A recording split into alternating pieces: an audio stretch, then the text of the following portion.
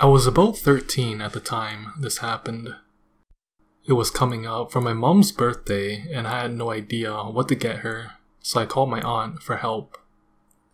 We agreed to meet in town on Saturday afternoon after my piano lesson so we wouldn't have to rush.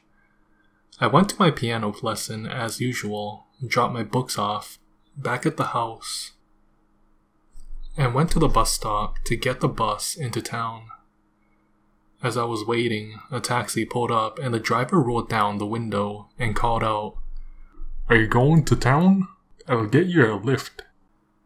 Without moving closer to the taxi, I replied that I couldn't afford a taxi and the bus would be there in a minute. It was, as usual, running late. The taxi driver became insistent that I get into his taxi, and he wouldn't charge me a dime to go into town. I stood my ground, refusing to get in. His tone became more aggressive as he demanded that I get into his taxi over the next minute or so.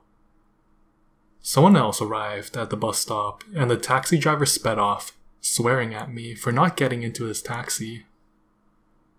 I told my aunt what happened when I met her in town, and she asked if I had his license number so that she could report the incident.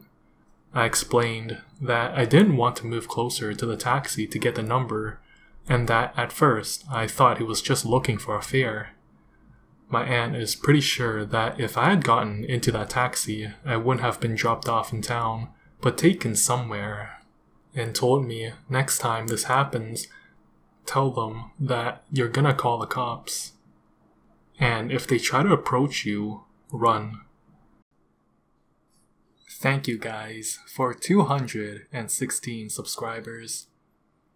As of how the world is right now, I hope every one of you stay safe and live life cherishing every second of every minute.